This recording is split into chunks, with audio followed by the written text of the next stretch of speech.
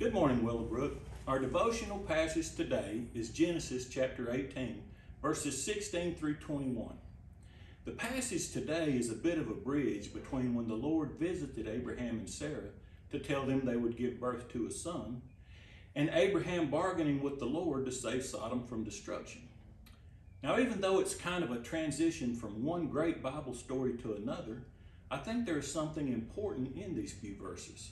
So let's dive a little deeper and see. Earlier in chapter 18, we learned that Abraham's visitors are the Lord and two angels. Verse 16 starts by saying, When the men got up to leave, they looked down on Sodom, and Abraham walked along with them to see them on their way.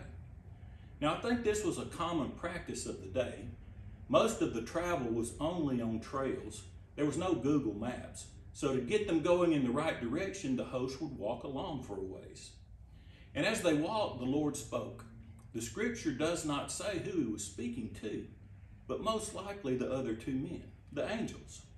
Verse 17 says, Shall I hide from Abraham what I am about to do?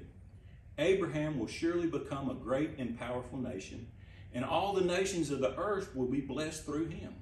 For I have chosen him, so that he will direct his children and his household after him to keep the way of the Lord by doing what is right and just. So the Lord may bring about for Abraham what he has promised him. Okay, here we go.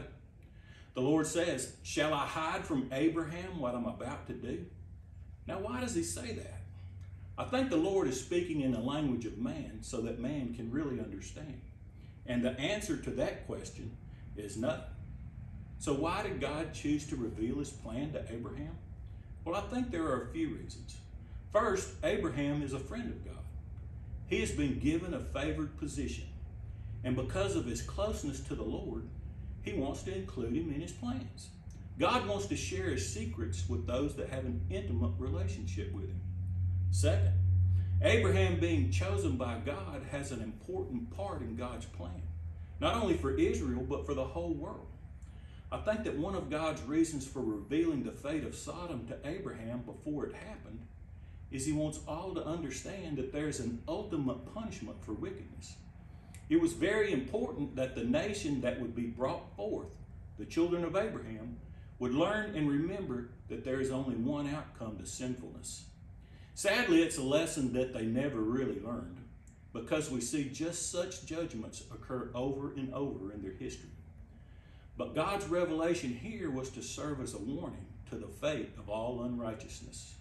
And thirdly, I think that because of the loving relationship that God has with Abraham, he desires to give him the opportunity to intercede for the people of Sodom.